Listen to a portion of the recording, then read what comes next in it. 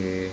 Uh, ini sebenarnya adalah video kedua yang admin nak buat tanya ya. Tadi admin dia buat satu dekat page eh, dekat Facebook main Usap. So sekarang ni nak buat yang kedua pula lah kan. Tapi yang ni nak fokus dekat Twitter sajalah eh. Kalau nak ikuti Twitter kami. Okey. Ni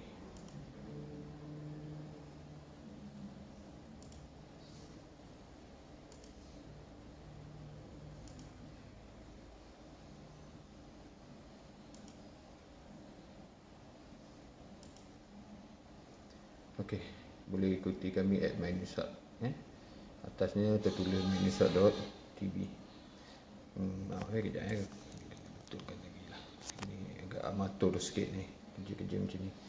So, tapi tak apa. Yang ni nak tunjuk hari ni adalah mengenai trend. Eh, hari ni apa yang tengah trending buat masa ni lah. Ada satu pasal Selcom ni. Tak tahu apa yang trending pasal Selcom ni sebenarnya. Okey. One full fucking hour Cellcom down all over the country. Mati-mati aku risau phone aku rosak apa. Okay patutlah pagi tadi admin pun ada rasa sedikit kepalikan di situ. Bila buka phone ingatkan nak buka Facebook tak boleh Ingatkan apa hal. Hmm. Cellcom down anyone experience the same? Chin An. Yeah I do bro and I think thousands of others in Malaysia also experience the same Dear Cellcom, you should at least notify us when the problem that you are facing rather than you just let us wonder what is wrong with our device. You are being irresponsible. Well, to certain degree, I do agree with you, bro. I think my loyalty with Cellcom will end soon. Oh, perlu aku bagi like pada bro ni? Boleh lah kot.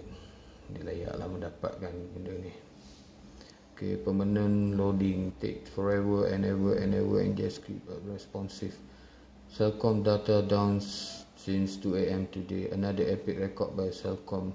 Sebenarnya kan Cellcom, uh, nak marah ke, nak saman ke, will be your rights lah. Tapi aku dah guna Cellcom ni daripada zaman sebenarnya aku bermula sebagai TM user, TM Touch then dia orang ada merging apa then they retain nama Cellcom so basically I've been using this I rasanya 15 tahun mungkin lebih kot.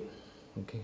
Cellcom ni sentiasa yang terbaik lah. Tetapi jadi persoalan sekarang ni ialah masalah yang bila line dia down ni bukan sekali sebenarnya agak kerap juga sama ada Cellcom sedar atau tak sedar. Dan benda ni menyakitkan hati kan.